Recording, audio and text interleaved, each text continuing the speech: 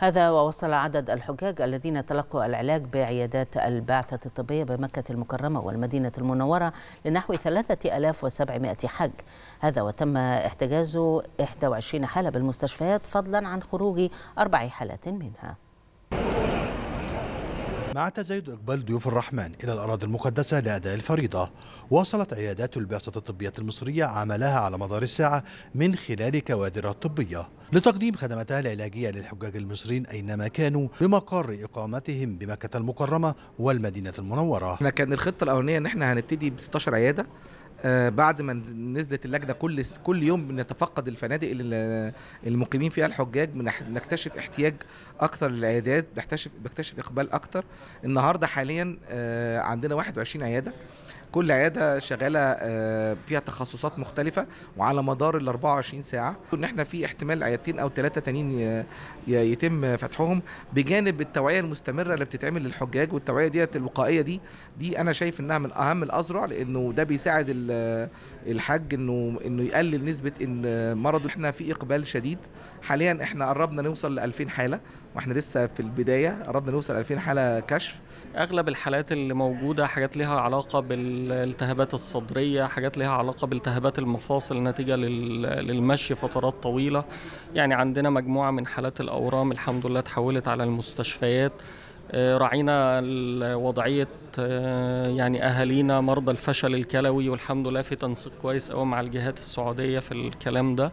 النهارده كان عندنا اجتماع في وزارة الصحة السعودية عشان التنسيق الكامل لتحويل الحالات. وبدور العبادة بمقر إقامتهم لتوفير الأجواء المناخية وسبل الراحة والأمان خلال أدائهم الفريضة. إن إحنا مثلا بننبه عليهم إن هم ما يتعرضوش لأشعة الشمس المباشرة من غير ما يكون معاهم شمسية أو كاب يحميهم قد ما يقدروا من أشعة الشمس آه، يشربوا سوائل كتير ومية علشان تعوضهم عن ال- الفقد اللي بيحصل لهم نتيجة العرق من الحر. آه، ممكن كمان بنأكد قوي على موضوع مرضى السكر إن هم ما يمشوش حافين اطلاقا من غير حاجة في رجلهم. آه كمان بنأكد على موضوع الأكل إن هم ما يخزنوش الأكل بكميات كبيرة لأن التلاجات هنا مساحتها صغيرة عدد الناس في الأوض بتبقى إلى حد كبير مش هتستوعب كل ده. فتخزين الأكل ما فيش ضرورة ليه لأن هم بالفعل الأكل متواجد وبكميات كبيرة. تخزين الأكل ده ممكن يودينا مشاكل إيه؟ ممكن يودينا إن هو لا قدر الله يعمل نزلات معوية قبول واستحسان من قبل الحجاج المصريين لما قدم لهم من خدمات علاجية على مدار الساعة. بشكي من تعب في مريء في المعدة. وجيت هنا عشان أكشف ويدوني العلاج اللي يريحني. قاموا معايا بالواجب وكشف عليا وعطاني العلاج اللي أنا محتاجاه لمعدتي ممتازة. جزاكم الله خير كلكم. ما شاء الله عليكم. البعثة الطبية كلها زي الفل. مع تزايد أعداد ضيوف الرحمن من الحجاج المصريين على مكة المكرمة تتزايد معها حالة الاستنفار القصوى من قبل أعضاء البعثة الطبية فهم في تواصل ليل بالنهار لتوفير الأجواء الروحانية لتلك الرحلة المقدسة. من مكة المكرمة محمد حلمي التلفزيون المصري. شهدت قرية زيدان بمحافظة كفر الشيخ تنظيم قافلة طبية مجانية تحت مظلة التحالف الوطني للعمل الأهلي التنموي. هذا وقد تم تقديم الخدمات الطبية للمواطنين بالمجان وتقديم الخدمات الضرورية للمواطنين الأولى بالرعاية والأكثر احتياجا. تحت مظلة التحالف الوطني للعمل الأهلي التنموي نظمت قافلة طبية مجانية في قرية زيدان التابعة لمركز الحامول بمحافظة كفر الشيخ بالتعاون مع مؤسسة راعي مصر. كله هنا شغال حضرتك تمام والدكاترة يعني قايمين بالواجب وكله مية مية تمام يعني الحمد لله. وكله حلو وتمام. وعلاج مجاني يعني ما بيأثروش مع حد في حاجة.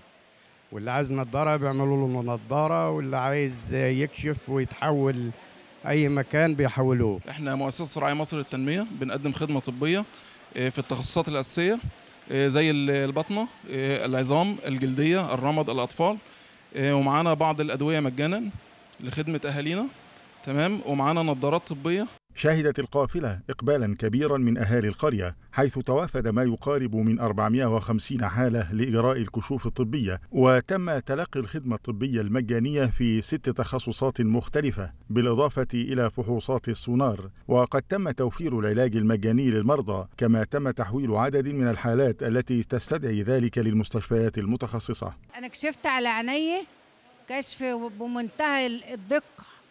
بضمير يعني الحمد لله. دكتورة عندها ضمير. والله كشفت عليا مرتين على عينيا حطيت قطرة ورجعت كشفت. وكشفت على ظهري عظام وادوني العلاج لده ولده قايمين بالكشوفات بالكشوفات العيون وكشوفات ال- العظام والبطنة و... والجلدية وجميع الكشوفات موجودة والدكاترة كتير هنا موجودين.